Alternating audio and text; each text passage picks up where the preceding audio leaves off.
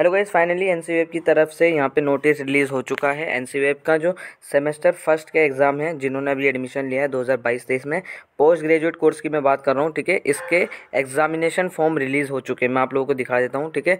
ये examination form है। Date इसकी देखो आप लोग देख सकते हो, सात फरवरी दो हज़ार तेईस, यानी आज का नोटिस है ये, ठीक है? लास्ट डेट आपकी क्या होगी? एग्ज़ाम एग्जामिनेशन फॉर्म फिल करने की यहाँ देखो लिखा भी है। क्या नाम है? अट्ठाईस दो दो तो यानी अट्ठाईस फरवरी से पहले आप सभी लोगों को साढ़े पाँच बजे से पहले एग्जामिनेशन फॉर्म फिल करना है, ये चीज़ ध्यान रखो।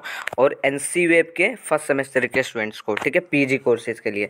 यूजी कोर्सेज के लिए मैंने ऑलरेडी बता रखा है कि आपको अट्ठारह तारीख से पहले भरना है, अट्ठारह फेब से, ठीक है? तो आप वो लिंक मैंने डिस्क्रिप्शन में दे रखा है यूजी वाले बच्चों के लिए। ये सिर्फ़ पी जी वाले बच्चों की मैं यहाँ बात कर रहा हूँ पोस्ट ग्रेजुएट कोर्स की। तो यहाँ पर देखो, सबसे पहले आपको क्या करना है? S L C smart portal login करना है, जिसके बाद आपको बेसिक डिटेल फिल करनी है सिलेक्ट प्रोग्राम ये सब आपको फिल करना है, ठीक है? मैं अब आपको दिखा देता हूँ वेबसाइट कैसे स्क्रॉल करनी है आपको वेबसाइट पर जाना है ठीक है? तो अब आप सभी को इस तरीके से वेबसाइट से होगी, यहाँ पे देखो एनरोलमेंट नंबर फिल करना पासवर्ड अब यहाँ पे आपको अभी कुछ नहीं पता, यहाँ पे आपको क्या पासवर्ड है आपका तो मैं आप लोगों को बता दूँ, सबसे पहले आपको यहाँ पे न्यू रजिस्ट्रेशन करना है, ये लिखा हुआ है ना न्यू रजिस्ट्रेशन इस पर आप लोगों को क्लिक करना है, और ये आप लोग देख सकते हो S L C U O D S L C dot U O D dot A C dot in ये सर्च करोगे, पहली वेबसाइट ओपन हो जाएगी ओपन करने के बाद या फिर आप सर्च कर सकते हो स्मर्थ ई गवर्नमेंट यू ठीक है तो आपको वेबसाइट मिल जाएगी, नहीं मिलती है तो आप मुझे इंस्टा पर मैसेज कर सकते हो तो न्यू रजिस्ट्रेशन पर आप लोग क्लिक करना न्यू रजिस्ट्रेशन के बाद में आगे प्रोसीजर यहाँ पे मैं क्लिक कर देता हूँ।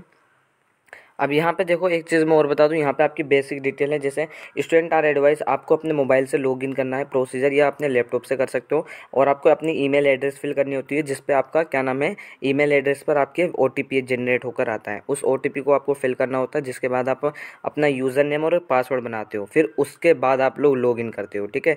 और आपका एनरोलमेंट नंबर जो है, वो चेकआउट कर लेना, जो आपके पोर्टल पर मिल जाएगा, ठीक है? मैं आप लोगों को दिखा देता हूँ यहाँ पर तो सबसे पहले यहाँ पर आप लोगों को क्या करना है सबसे पहले यहाँ पे आप लोगों को देखो सिलेक्ट प्रोग्राम सिलेक्ट करना है। यहाँ पे आपका कौन सा प्रोग्राम है? ठीक है? मैं फॉर एग्ज़ाम्पल मान लेता हूँ।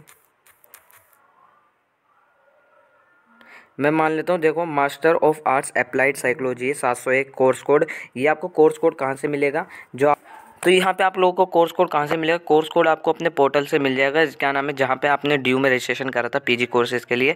पोर्टल दोबारा से लॉगिन करना, वहाँ पे आपको कोर्स कोड मिल जाएगा, ठीक है? फिर यहाँ पे आपका आईडी कार्ड पे जो नेम है, यानी जो आपके कॉलेज में जो नेम चल रहा है अभी मास्टर ऑफ़ आर्ट्स के अंदर, या आप एमएससी कर रहे हो, जिस, जो भी कोर्स कर रहे हो, ठीक है? तो आपका जो नेम है वो सही फिल करना है। यहाँ पे एनरोलमेंट नंबर के ज़रिए फिल करो, ये एग्जामिनेशन रोल नंबर तो अभिनेशन रोल नंबर फ़र्स्ट सेमेस्टर का नहीं आया है तो एनरोलमेंट नंबर पर ही हम क्लिक करेंगे। एनरोलमेंट नंबर भी आपको वहीं से मिल जाएगा, ठीक है? नहीं मिलता है तो आप कॉन्टैक्ट कर सकते हो अपने कॉलेज से। ठीक है, जो भी आपको डिपार्टमेंट अलॉट हुआ होगा, वैसे आपको एनरोलमेंट नंबर मैंने ऑलरेडी वीडियो बना रखी है तो आप जाकर चेकआउट कर सकते हो, ठीक है? फिर यहाँ पे जो है आपका कैप्चा कोड फिल करने के बाद यहाँ पे आप लोग सबमिट कर देना। सबमिट करने के बाद यहाँ पे आपको क्या करना है? दोबारा से बेक आ जाना है।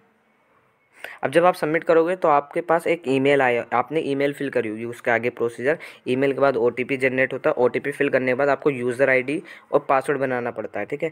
अब उसके बाद फिर आपको दोबारा से लॉगिन करना पड़ता है इसी पोर्टल पर आकर एनरोलमेंट नंबर पासवर्ड लॉगिन कर देना। लॉगिन करने के बाद आपको फिर अपने पेपर नेम फिल करने होते हैं कि आपके पास फ़र्स्ट सेमेस्टर में कौन कौन से पेपर हैं और कोर्स कोड आपका सही होना चाहिए पेपर कोड आपके सही होने चाहिए जिस जो आपके फ़र्स्ट सेमेस्टर में जितने सब्जेक्ट्स हैं उसके कोड सही होने चाहिए, ठीक है? फिर आपको लास्ट में एग्जामिनेशन फ़ीस फिल करनी होती है।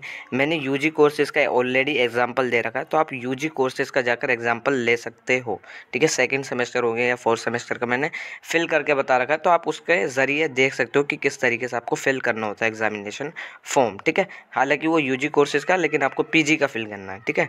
और बाकी अगर आपकी कोई क्वेरी है तो आप मुझसे इंस्टा पर पूछ सकते हो।